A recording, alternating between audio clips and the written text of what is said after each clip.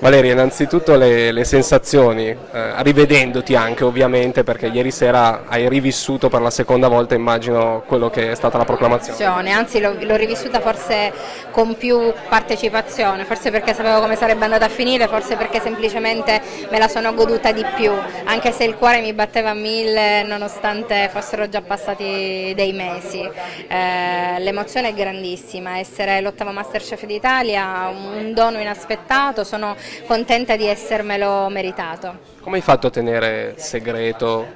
la, segreta la vittoria con tutti i tuoi parenti come hai rivelato, a parte tuo marito che era lì ovviamente. Era lì mio marito, sì, qualche altro elite lo sapeva, eh, però semplicemente mi sono concentrata su altro, sugli oneri che la vittoria di Masterchef comporta, eh, l'impegno del libro è stato grande, mi ha assorbita, eh, proprio perché volevo che nonostante il poco tempo a disposizione mm, risultasse un bel lavoro, quindi devo dire che questo mi ha aiutato un po' a distogliere eh, l'attenzione da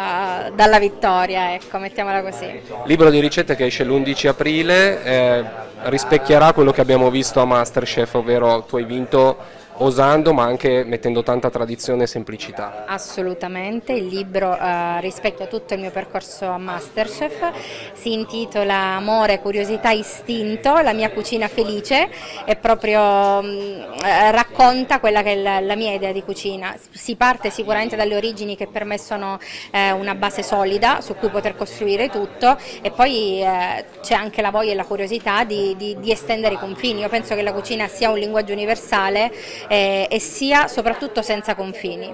Un aggettivo per ognuno dei quattro giudici che ti hanno accompagnato fino alla vittoria? Allora, ehm, meraviglioso, meraviglioso, meraviglioso, meraviglioso, sono tutti bravissimi, chef Cannavacciolo molto severo ma anche molto attento, lo vedevamo, vedevamo che non gli sfuggisse nulla, eh, chef Barbieri, anche lui si vede proprio la sua passione eh, e quasi mh, mm, eh, lo vedevamo partecipe delle nostre sensazioni, stessa cosa chef Locatelli che è stato eh, forse il più sensibile di tutti, probabilmente anche perché era un po' un'iniziazione sua in questo a Masterchef. Eh, e infine Bastianic, mister Bastianic probabilmente quello che legge eh, o perlomeno cerca di leggere più a fondo nella personalità di ognuno di noi e cerca di farla uscire, il che poi è anche d'aiuto perché ci aiuta a manifestarci in quello che siamo, cuochi sì ma anche e soprattutto persone. La Valeria di domani sarà in una cucina?